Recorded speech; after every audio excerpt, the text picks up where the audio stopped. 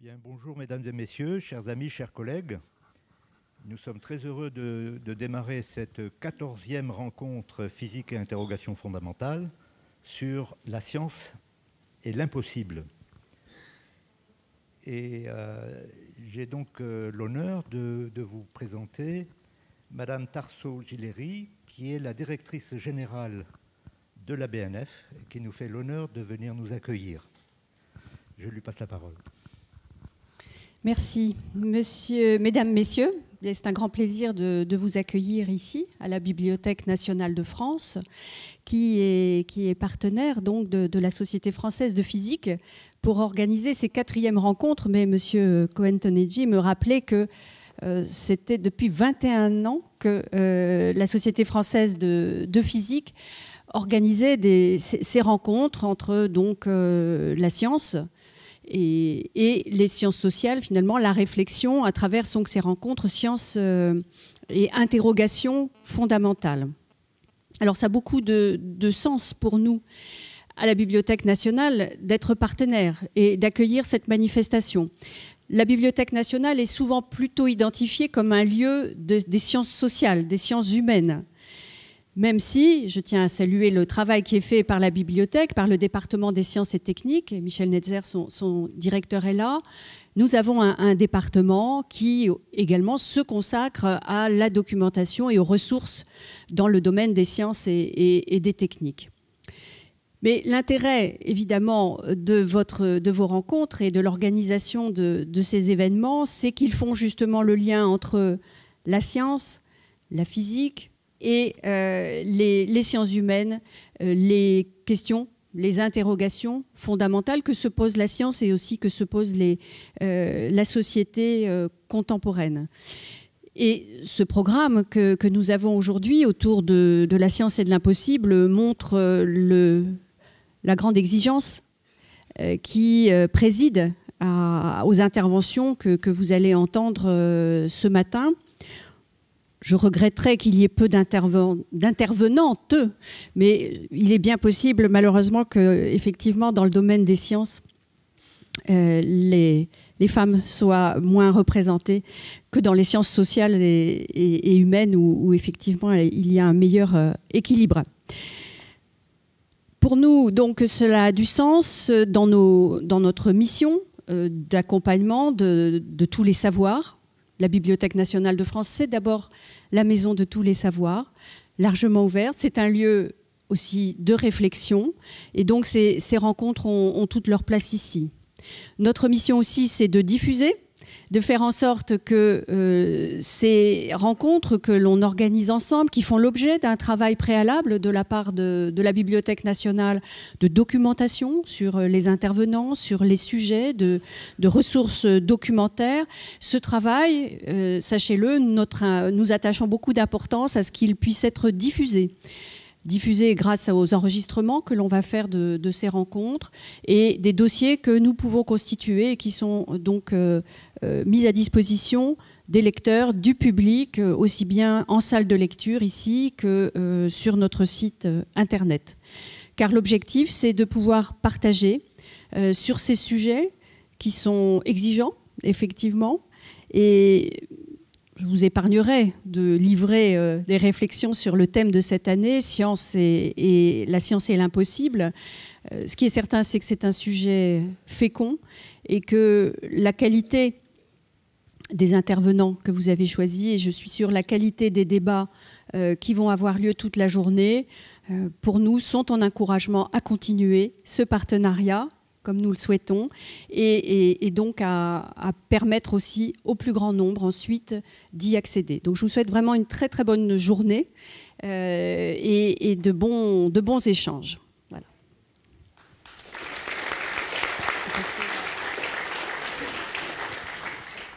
Voilà, et je vous présente maintenant euh, Samuel Guibal, qui représente le président de la Société française de physique et qui pour le moment est le président de la section Paris-Centre. Donc je lui passe la parole. Merci. Madame la directrice générale, mesdames et messieurs, chers collègues, nous vivons euh, une époque où la société se crée des urgences que tout un chacun s'impose et que nous peinons tous à, suivre et à assumer. Et euh, il est vraiment très bon de, prendre le temps d'une journée comme celle-ci. prendre le temps d'une journée où l'urgence euh, s'arrête et où l'on se souvient de la capacité euh, infinie d'interrogation qui nous habite tous et toutes. Une capacité d'interrogation, mais aussi une capacité d'élaboration, de construction, une capacité d'invention. Qui, en effet, d'entre nous, enfants, ne s'est pas euh, allongé dans l'herbe ou sur un banc pour contempler un ciel étoilé. Souvenez-vous de, cette sensation de vertige, de vertige de la pensée. Ce n'est pas un vertige physique comme on peut l'éprouver en haut des montagnes, c'est vraiment un vertige de la pensée et qui finalement euh, pose la question de quelle est notre place à chacun dans ce monde. Chacun, euh, ensuite, dans son parcours de vie, s'approprie ce questionnement universel et chacun cherche cette place poète, agriculteur, architecte, philosophe, maçon ou pourquoi pas physicien. La Société française de physique, justement, depuis 140 euh, ans, rassemble celles et ceux, physiciens, physiciennes. Et en effet, euh, on peut regretter qu'une journée comme celle-ci ne donne pas plus sa place euh, aux, physiciennes, et il y en a de, de, nombreuses de grands talents. Il y a vraiment la place pour chacun et chacune. donc la Société française de physique rassemble les physiciens et les physiciennes qui trouvent dans la démarche scientifique un chemin pour avancer au travers de ce questionnement universel fondateur de, l'humanité. Cette démarche, euh, elle vise à créer des connaissances universelles mais réfutables, et elle vise aussi à transmettre ces connaissances, d'où l'importance d'un lieu euh, et de, l'accueil de la, Bibliothèque nationale. Mais cette démarche, elle a plus que jamais besoin de se faire connaître et reconnaître dans une société où les débats publics exposent essentiellement la confrontation d'opinions individuelles. Cette démarche, elle a besoin, pour euh, s'exprimer, de l'implication de chacun. Et euh, au nom de la SFP, je remercie le, comité d'organisation de, cette journée physique et interrogation fondamentale, particulièrement Yves Saquin, qui, euh, le représente, et pour cet attachement qu'a ce comité à produire du débat public accessible et exigeant, comme l'a rappelé Madame la Directrice Générale, comme en témoigne aussi la programmation exceptionnelle qui vous est offerte aujourd'hui. je remercie euh, la BNF et sa directrice générale pour ce partenariat euh, qui, est essentiel et qui aide à échapper au huis clos de la communauté scientifique. Communauté qui a un besoin vital de se tourner largement et je dirais même euh, généreusement vers, vers la société. Bien sûr, je remercie chaleureusement les orateurs qui ont accepté de participer à cette journée, orateurs de grand talent. et je voudrais rappeler que la SFP, c'est donc la communauté des physiciens, des scientifiques, et que cette, euh, cette, communauté, elle doit se mettre en mouvement vers la société, et que ce mouvement est possible. On va utiliser le vocabulaire euh, de cette journée. Et, euh, et, le thème justement de la table ronde qui est prévue en fin de journée le stipule penser l'impossible pour réaliser l'impossible donne bien une injonction d'action, c'est réaliser le, le, possible. Et cette injonction d'action, c'est le mouvement. Alors si on en restait au raisonnement paradoxaux de, Zénon, qui, semble, qui semblait établir l'impossibilité du mouvement par une infinie décomposition en instants immobiles, on serait découragé d'agir. Ce paradoxe se réfute euh, évidemment euh, aisément, euh, et les physiciens ont depuis longtemps accepté l'idée que le mouvement est possible et n'est pas juste une illusion d'essence. Mais quoique, il semblerait que la physique quantique puisse euh, exploiter euh, ce paradoxe dans son acception quasi originelle, en figeant l'évolution d'un état atomique par une mesure répétée. Et euh, je trouve qu'on a là un intéressant aller-retour de la pensée et des possibles, et je suis persuadé que Serge Haroche aura à cœur d'évoquer ce, sujet cet après-midi. Pour conclure, je, vous souhaite, je souhaite vous rappeler que la SFP est une société savante, une association une société euh, ancienne, 140 ans, mais militante, et qui est dans l'action, justement. Et je vous invite à retrouver toutes ces actions sur le site web fraîchement rénové de la SFP et également euh, pour vous tenir informé des événements qui sont organisés euh, régulièrement par la Société française de physique. vous pourrez inscrire vos coordonnées sur une, feuille à la, sortie de l'amphi pour recevoir la, la, newsletter de la SFP. Je vous remercie de votre patience et de votre attention et je vous souhaite évidemment le meilleur du possible. Merci beaucoup. Eh bien, nous allons euh, donc ouvrir la séance. merci encore pour votre, accueil. Nous allons donc ouvrir la séance avec euh, un exposé euh, d'Étienne Klein, qui est là. et puis après, on aura l'exposé de Jean-Paul Delahaye.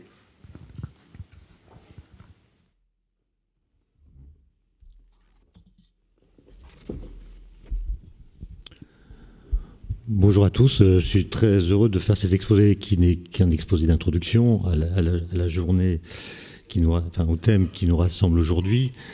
Je voudrais commencer par dire que je suis très heureux euh, d'ouvrir euh, cette 14e édition de PIF. Lorsque Michel Spiro, euh, Gilles Cohen-Tanucci et moi-même avons fondé ces rencontres de physique et interrogation fondamentale, c'était en 1992. Donc il y a 22 ans, la première édition a eu lieu le 8 décembre 1993. Elle était consacrée au thème du temps et de sa flèche. Elle avait eu lieu au ministère de la Recherche dans l'amphi Poincaré qui était, qui était plein à craquer ce jour-là. Et notre idée, c'était, pour le dire de façon euh, très résumée, de manifester une sorte de réaction des physiciens euh, à la phrase de Heidegger qui est La science ne pense pas. Une, une, phrase qui a été interprétée de toutes sortes de façons, dont certaines étaient sans doute fallacieuses, mais qui a toujours été vécue comme une sorte de provocation à l'écart des scientifiques. Et nous, nous voulions montrer que la pensée des physiciens, qu'on pourrait appeler la pensée calculante, euh, peut s'accompagner d'une pensée méditante, qu'en tout cas la première ne mutile pas mécaniquement la seconde et que parfois même la pensée qui calcule provoque la pensée qui médite en lui offrant de nouveaux chemins de pensée, de nouvelles perspectives. Alors le sujet d'aujourd'hui, c'est l'impossible, la science est l'impossible, et je voudrais rapidement, quelques, enfin en 20 minutes je pense, euh, euh, montrer différentes façons que peut avoir la question de l'impossible euh, de se connecter avec la physique. Alors par exemple, je pense qu'il serait possible, je ne sais pas si ça a été fait, de, raconter toute l'histoire de la physique des particules en montrant qu'elle s'est construite autour d'un principe assez simple, un principe qui dit que tout ce qui n'est pas interdit est obligatoire et que tout ce qui est impossible doit être mis en relation avec une loi, une règle, ou un principe qui l'empêche d'être possible. Autrement dit, euh, il faut expliquer ce qui empêche l'impossible d'être possible. Et c'est à partir de ces deux principes, je pense, qu'on peut raconter quelques épisodes cruciaux de, l'histoire de la physique des particules, avec cette idée donc que si quelque chose, un événement, un processus, un phénomène devrait pouvoir se produire dans le cadre d'une théorie en laquelle on a confiance. Et si on démontre que ce phénomène ne se produit pas, c'est que quelque chose qui n'est pas dans la théorie, ou bien qui est dans la théorie mais qu'on a mal compris, le rend effectivement impossible. La physique apparaît alors comme une sorte de dialectique entre le réel, le virtuel et l'impossible. Et je me souviens d'ailleurs que lors de la deuxième édition de PIF, qui a eu lieu en 94 et dont le thème était virtualité et réalité dans les sciences, Jean Iliopoulos avait donné un exposé euh, absolument incroyable qu'il avait intitulé L'invention d'une nouvelle particule. Alors je résume son propos euh, en espérant ne pas le déformer, et vous verrez que ça a à voir directement avec le statut de l'impossible que je viens d'évoquer. Au début des années 70, on connaissait une particule euh, qui s'appelle le chaos neutre, et qui, d'après ce que l'on savait de l'interaction faible, l'interaction nucléaire faible, devait pouvoir se désintégrer en deux autres particules, en l'occurrence des muons. La théorie prédisait que les carons neutres devaient pouvoir se désintégrer en deux muons. Cette euh, possibilité était bien prévue par la théorie, mais aucune observation, aucune mesure ne montrait cette désintégration.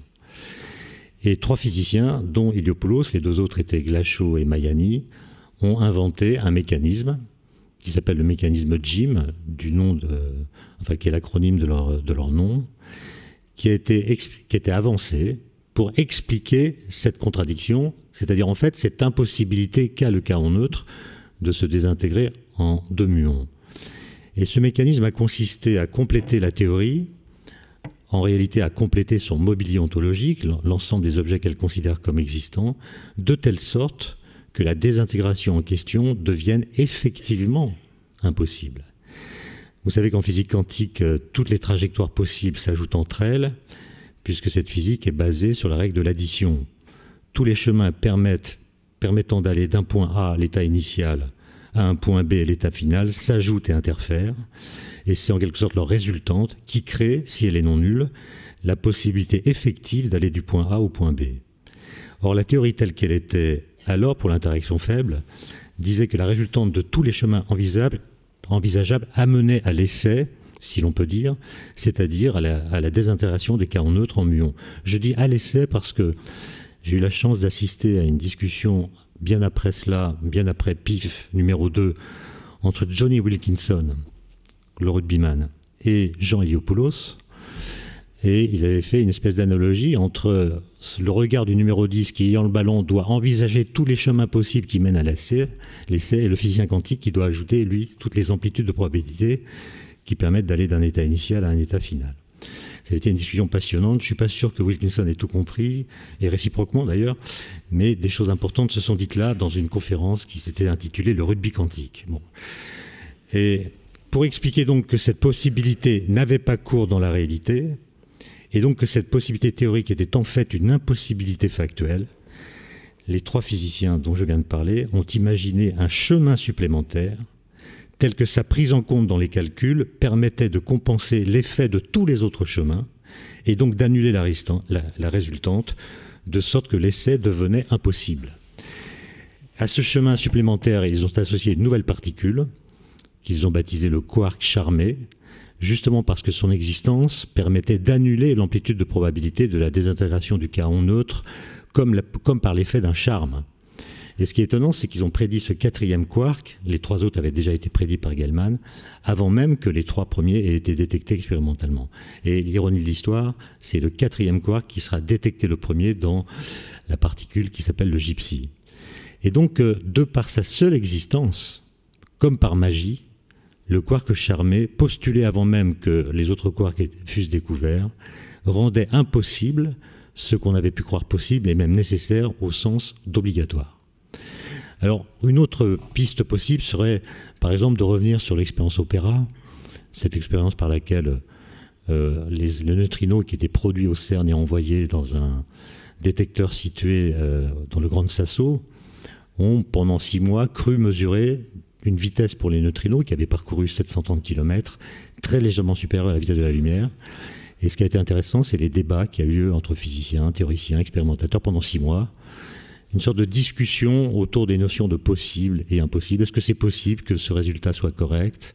S'il était correct, alors comment comprendre que les, neutrinos émis par la supernova 87 soient arrivés très peu de temps avant les photons, alors que si on prenait au sérieux le résultat qui venait d'être obtenu, on aurait dû obtenir un décalage de plusieurs années entre l'arrivée des photons et l'arrivée des neutrinos. Enfin, il y a eu une discussion épistémologique théorique, expérimentale, autour de ce qu'il fallait penser de cette expérience.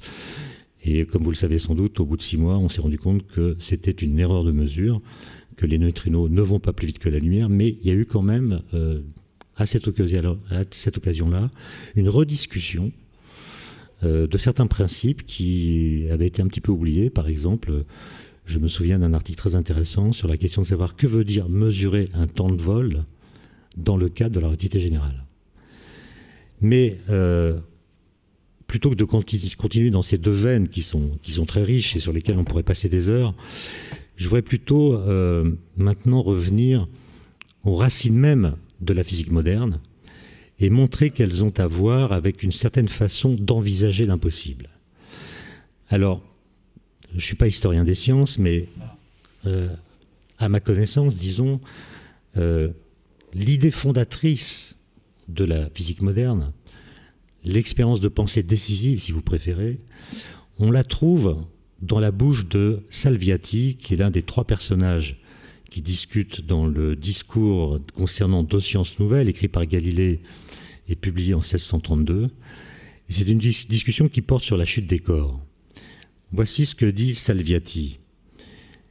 Donc ils discutent la loi d'Aristote selon laquelle euh, les corps tombent d'autant plus vite qu'ils sont plus légers.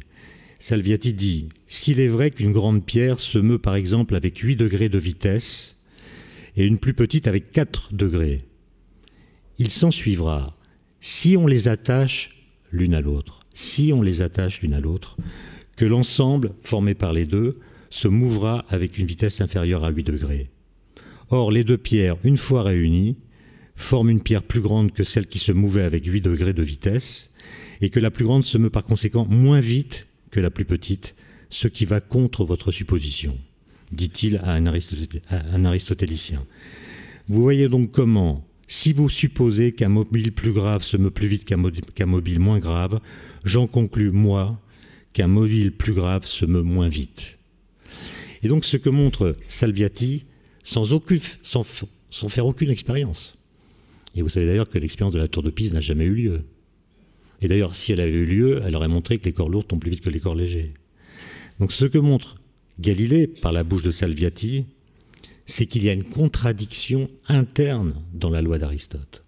Ce qu'il montre, c'est que la loi d'Aristote est une loi impossible, puisque lorsqu'on l'applique non pas à un corps, mais à deux corps reliés l'un à l'autre, on aboutit à des conclusions qui ne peuvent pas être vraies ensemble. Une partie du raisonnement nous montre que l'ensemble va tomber moins vite, puisque le corps le plus léger va faire parachute et donc ralentir la chute du premier. Et en même temps, l'ensemble étant plus lourd, il va tomber plus vite que le plus lourd. Et donc on a deux conclusions contradictoires. Et euh, Galilée va résoudre cette contradiction sans faire d'expérience. En disant que la seule façon de résoudre ce paradoxe, c'est d'imaginer que tous les corps tombent à la même vitesse, ce qui n'est pas ce qu'on voit. Et donc la naissance de la physique moderne, à mon avis, c'est cette idée que les lois physiques sont des lois cachées, qu'on ne peut pas les déduire simplement de l'observation, en tout cas pas directement de l'observation, et que, avant qu'on ait bien compris comment les expériences se passent, elles semblent absurdes, c'est-à-dire en contradiction avec l'observation. Elles semblent impossibles, en quelque sorte, dès qu'on les entend énoncer pour la première fois. Elles disent, en général, quelque chose que nous n'avons jamais observé. Donc les lois physiques sont des, lois caché qui ne se donne pas directement en spectacle. D'ailleurs, une jolie coïncidence euh, fait voir que la chute des corps a pour anagramme hors du spectacle. Euh, alors, c'est là, à mon avis, que les affaires commencent. Je sais bien que j'ai lu des ouvrages de spécialistes, d'historiens, et j'ai bien vu qu'il euh, existe entre les spécialistes de cette période des désaccords assez profonds qui brouille le regard rétrospectif que l'on peut avoir sur cette révolution galiléenne.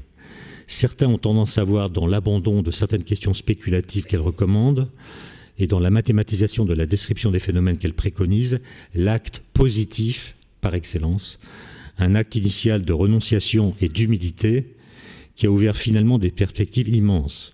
En gros, on s'intéresse aux questions qui commencent par comment et non plus aux questions qui commencent par pourquoi. D'autres historiens y voient au contraire un pari audacieux et ambitieux, une sorte d'acte de foi dans la possibilité d'expliquer réellement les phénomènes en profondeur, au lieu de se contenter de les décrire de façon aussi satisfaisante que possible. D'autres encore, et je pense à Mach, Ernst Mach, considèrent que la révolution effectuée par Galilée a consisté à tourner les yeux vers la nature pour, je cite, laisser modeler ses pensées par elle, au lieu de vouloir l'immobiliser dans les liens de ses préjugés. Fin de citation. D'autres enfin, tels euh, Emmanuel Kant, dans l'introduction de la critique de la raison pure, reconnaissent au contraire à des hommes comme Galilée ou Torricelli, le deuxième exemple que cite Kant, le mérite d'avoir fait comprendre au monde scientifique que, je cite, la raison ne voit que ce qu'elle produit elle-même d'après ses propres plans et qu'elle doit prendre les devants avec les principes qui déterminent ses jugements suivant des lois immuables, qu'elle doit obliger la nature à répondre à ces questions et non plus se laisser conduire en laisse par elle. Hein, donc c'est des interprétations complètement opposées. Chez Kant, il y a l'idée que c'est la raison qui questionne la nature et qui oblige la nature, par une sorte d'effet de torture, à répondre dans le cadre fixé par la raison. Mais il y a un, philosophe des sciences que personnellement j'aime beaucoup, qui a écrit un livre qui s'appelle Études galiléennes. Et ce livre, ce, philosophe des sciences, c'est Alexandre Coiré. Et il fait une lecture de la révolution galiléenne qui a directement à voir avec le sujet d'aujourd'hui. Euh, il explique d'abord que Galilée provoque et alimente une sorte de réaction contre l'empirisme aristotélicien qui, en n'admettant aucune forme d'idéalisation, rendait impossible une physique mathématisée. Galilée, lui, dit les mathématiques ont à voir avec la physique. Et il ajoute une chose euh, en expliquant que le pari de la physique moderne, dont il est d'accord avec tous les autres qu'il est, il naît avec Galilée, c'est que à, rebours de celle d'Aristote, eh cette physique-là fait le pari qu'on peut expliquer, je cite, expliquer le réel par l'impossible. Expliquer le réel par l'impossible. Alors, l'exemple que prend Coiré, c'est pas la chute des corps, c'est le principe d'inertie. Un des trois principes fondateurs de la mécanique, qui, pour comprendre l'amortissement du mouvement des corps que nous observons dans le monde empirique, nous prie d'envisager l'idéal d'un mouvement qui ne s'amortit pas, un, mouvement inertiel, que personne n'a jamais observé et qui, de ce fait, semble impossible. Je cite Coiré Il n'est pas étonnant que l'aristotélicien se soit senti étonné et égaré par ce stupéfiant effort pour expliquer le réel par l'impossible, ou ce qui revient au même, pour expliquer l'être réel par l'être mathématique. Le concept galiléen de mouvement, de même que celui d'espace, nous paraît tellement naturel que nous croyons même que la loi d'inertie dérive de l'expérience et de l'observation, bien que de toute évidence, personne n'a jamais pu observer un mouvement d'inertie, pour cette simple raison qu'un tel mouvement est entièrement et absolument impossible. Nous ne sommes plus conscients du caractère paradoxal de sa décision de traiter la mécanique comme une branche des mathématiques, c'est-à-dire de substituer au monde réel de l'expérience quotidienne un monde géométrique hypostasié et d'expliquer, il reprend l'expression, le réel par l'impossible. Et vous savez que la réflexion d'Einstein à propos du principe d'inertie, c'est-à-dire le principe d'inertie est un principe qu'on ne peut pas observer, parce que la gravitation est partout, tous les corps subissent une force, donc le mouvement inertiel est impossible. C'est la réflexion d'Einstein sur le statut qu'il faut donner au principe d'inertie qui va, avec d'autres arguments évidemment, le mettre sur la voie de la relativité générale. Et donc, euh, l'idée euh, de mouvement inertiel apparaît comme quelque chose qui demeure de l'ordre de l'expérience de pensée, et non pas de l'expérience directe qu'on puisse faire sur des objets en mouvement. Et donc, euh, la conséquence de tout cela, c'est que s'il n'y avait pas un effet d'habitude, les véritables lois physiques continueraient de nous étonner et même nous sembleraient absurdes au premier abord. Elles sont toutes contre-intuitives. Et pour les saisir, il ne faut pas se fier donc à l'observation directe, en tout cas pas seulement à elle, mais plutôt mettre sur pied une méthode expérimentale et théorique permettant de les découvrir, c'est-à-dire inventer un moyen de trouer l'écran du sensible pour faire apparaître le plan intelligible qu'il recouvre. On pourrait euh, d'ailleurs euh, à ce propos euh, expliquer que, la physique moderne, c'est en somme le contraire de l'alpinisme. Hein. La physique moderne fait le pari qu'on peut expliquer le réel par l'impossible, tandis que l'alpiniste de haut niveau fait le pari qu'on peut démontrer l'impossibilité de l'impossible par le réel. Hein. C'est-à-dire, il fait des choses qui semblent complètement impossibles, mais comme il les fait, on ne peut plus dire qu'elles soient impossibles. Hein. Alors, Gilles me dit qu'il n'y a plus que cinq minutes, donc je vais accélérer. Euh, en tout cas, la physique moderne nous demande d'accepter de penser contre les indications de nos sens, mais aussi, pour reprendre une expression de Bachelard, contre notre propre cerveau qui est difficile, hein, puisque quand on pense avec son cerveau, donc il faut à la fois penser avec son cerveau, c'est obligatoire, mais aussi contre lui. Bachelard écrit Finalement, la philosophie de la physique est peut-être la seule philosophie qui s'applique en déterminant un dépassement de ses principes. Bref, elle est la seule philosophie qui soit vraiment ouverte. Ouverte à la nouveauté, à la nouveauté qui peut être radicale, et donc à ce qui a pu être trop rapidement taxé d'impossible. L'intellect ne se déplace, ne se développe pas qu'à partir de lui-même. Il y a un en dehors de l'esprit. Là, je ne cite plus de Bachelard, hein, c'est ma prose, disons. Et c'est cet en dehors de l'esprit, le réel, que les physiciens tentent justement de cerner et qui, au gré de leur découverte, peut faire retour sur l'esprit. Par exemple, fermer des portes qui étaient considérées comme possibles, ou bien au contraire, ouvrir des portes qui étaient considérées comme impossibles. Hein. Par exemple, et je n'ai pas le temps d'y revenir, mais Einstein pensait qu'il était impossible que la mécanique quantique pût être complète. Bohr pensait qu'il était impossible qu'on puisse établir une séparation directe entre l'objet qu'on mesure et l'instrument qui la mesure. Ça a donné lieu à un débat où les deux impossibilités invoquées par l'un et l'autre ont pu être euh, vérifiées, en tout cas euh, départagées par une expérience cruciale sur laquelle peut-être aujourd'hui quelqu'un reviendra. Je n'ai pas le temps d'en parler. Juste une petite anecdote à ce propos. Vous connaissez tous l'article d'Einstein, Podolsky, Rosen, l'article de 35 EPR, où Einstein fait la même chose que Galilée. C'est-à-dire, il est scandalisé, comme beaucoup de physiciens, par ce qu'on appelle la réduction du paquet d'ondes. C'est-à-dire l'état d'un système qui peut être délocalisé avant la mesure se trouve localisé après la mesure. Donc il y a une espèce d'opération magique qui réduit le paquet d'ondes, ça scandalise tout le monde.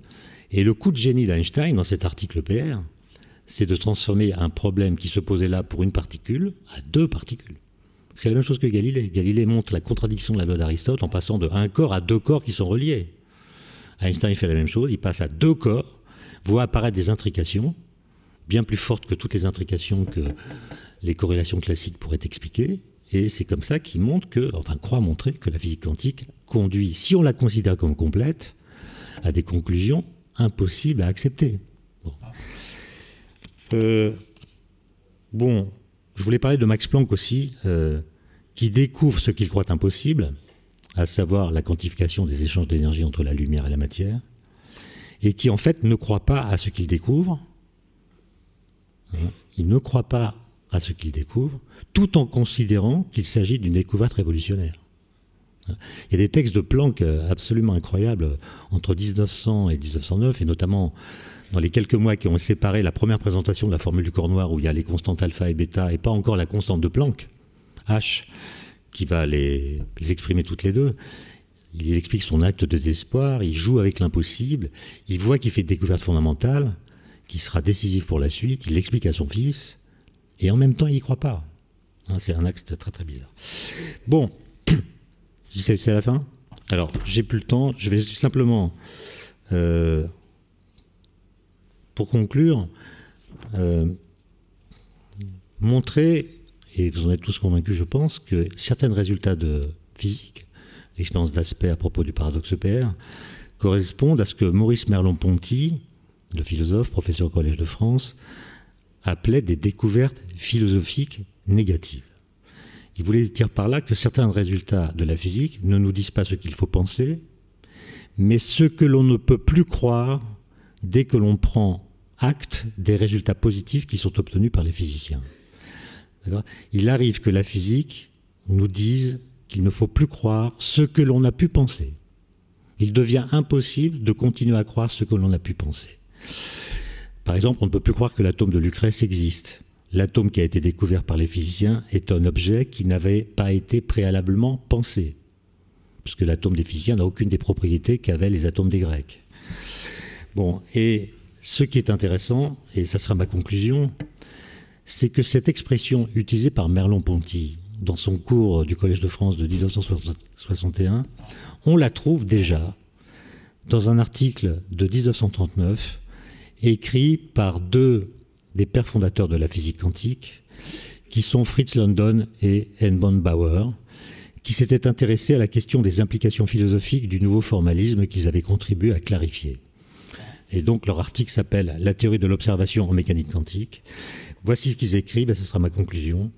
La physique en tant que science empirique ne peut pas aborder les problèmes philosophiques en toute généralité. Elle se contente de se servir de concepts philosophiques suffisants à ses besoins. Mais parfois, elle peut se rendre compte que certains des concepts qui lui ont servi ne lui sont nullement nécessaires, qu'ils contiennent des éléments inutiles et même incorrects, qui sont de véritables obstacles au progrès. Si l'on peut contester qu'il soit possible de fonder des vérités philosophiques par les méthodes des physiciens, il n'est sûrement pas hors de leur compétence de mettre en évidence que certaines affirmations qui prétendent à une validité philosophique n'en ont pas en vérité, et parfois, ces découvertes philosophiques négatives, ce sont eux qui le disent, des physiciens, ne sont pas moins importantes ni moins révolutionnaires pour la philosophie que les découvertes des philosophes de métier. Fin de citation. Je dirais, et ça sera vraiment ma conclusion, en même temps qu'une profession de foi, qu'il n'est pas du tout impossible qu'ils aient eu raison. Je vous remercie pour votre attention.